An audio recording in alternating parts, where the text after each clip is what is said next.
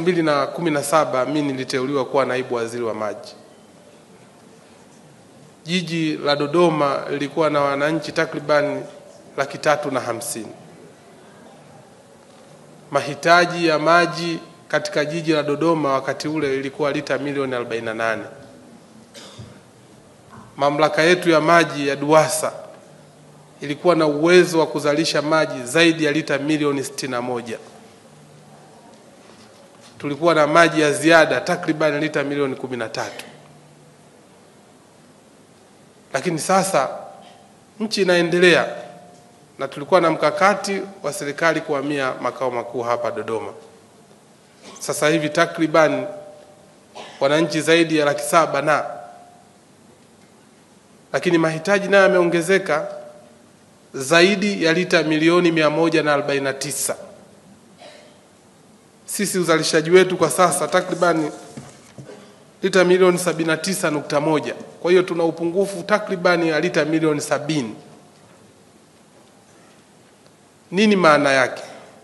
Kwamba mahitaji ni mingi kuliko uzalishaji.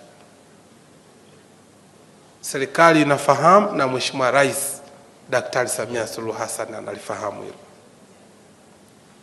Nataka niwatie moyo kwamba pamoja na mapungufu haya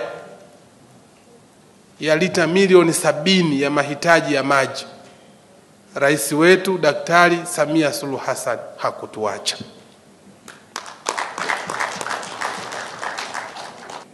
Katika hichi kipindi tumeweza kutekeleza miradi ya muda mfupi, mradi wa maji Ihumwa Njedengwa, mradi wa Nzuguni awamu ya kwanza, mradi wa ntuka Chimala na mradi wa Ndachi, zaidi ya bilioni 13.8 ambazo zimetolewa na rais wetu Daktari Samia Suluhu Hassan. Lakini faraja ambayo inonipa mimi waziri wa maji, pamoja na hii changamoto tuliokuwa nayo,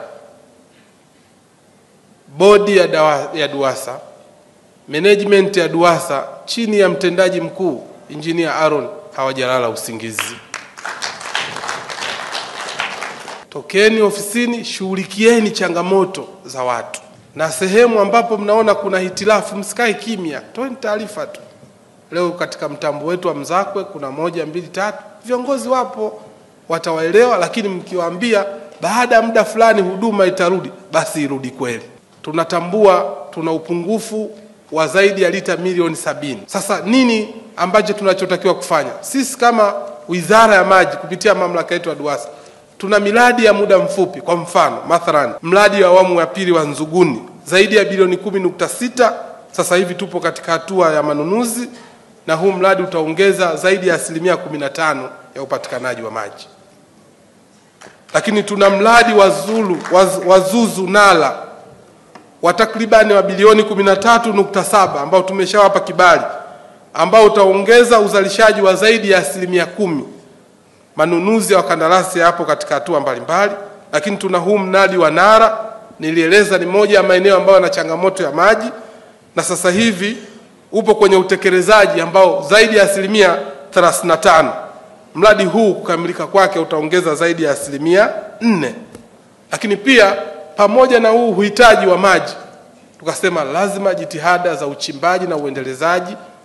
Maeneo ya pembezoni, tuendelee kuchimba visima ili watu wetu waweze kupata huduma ya maji safi na salama. Na hapa Mheshimiwa mkuu wa mkoa ameeleza juu ya kasi ya uongezaji, naomba ili jambo nilisimamie mwenyewe kuliongezea nguvu. DUWASA, maji kwa maisha salama.